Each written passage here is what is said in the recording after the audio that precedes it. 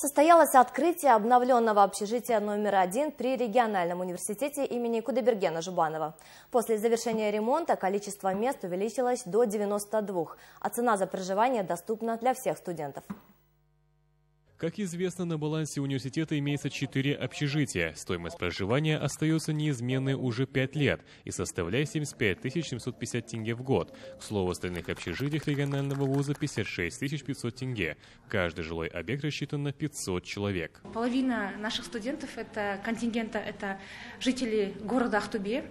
Но тем не менее у нас есть демографический рост, мы наблюдаем это, из года в год растет количество поступающих студентов, количество абитуриентов. И в то же время, конечно, растет спрос на проживание в наших общежитиях.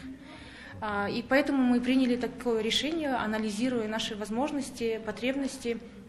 А, данный участок общежития ранее была использована не по целевому назначению, на протяжении последних пяти лет, и мы приняли решение провести реновацию, соответствующие ремонтные работы и отдать это обратно нашим студентам на проживание. Отметим, ремонт проводился на двух этажах. В настоящее время в общежитии имеется 19 комнат. Новое здание рассчитано на 92 человека, но пока здесь проживают 80 студентов. В будущем при необходимости будут закуплены и двухъярусные кровати. Отметим, что ремонт был проведен без привлечения подрядных организаций. Как вы видите, здесь свежо, светло, тепло. Это дополнительные возможности, несмотря на то, что сейчас у нас зима. Обычно ремонтные работы зимой не проводятся, но мы собственными усилиями, силами наших сотрудников, не привлекая никаких подрядных организаций, строительных организаций, своими силами отремонтировали данный участок общежития. Вообще, конечно, если мы это отдали бы на выполнение, да, на исполнение другим подрядным организациям, это стоило бы намного больше, но сейчас мы потратились только на строительные материалы. Это краска, да, это другие материалы, то есть практически не более трех миллионов тенге. Здесь ну, все предусмотрено, это душ, э, зоны компьютера, зоны для чтения книг, э,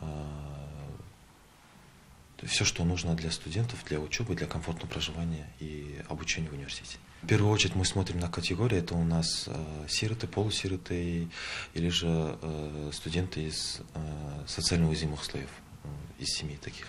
Мы в первую очередь для них смотрим, а также это у нас первые курсы, вторые курсы.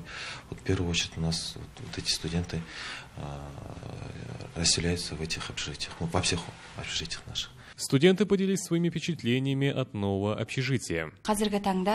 Благодаря активному участию в жизни университета я получила место в общежитии. Здесь есть все необходимое. Новая кровать, столовая, ванная комната, кабинеты для учебы. Считаю, что цена за проживание доступная. Говорят, в выходные дни здесь будут проходить киносеансы. Считаю, что это замечательно. Помимо столовой есть и кухня. Думаю, многие согласны, что жизнь в общежитии – это важный этап студенческие годы. Находить себе новых друзей и учиться быть самостоятельным.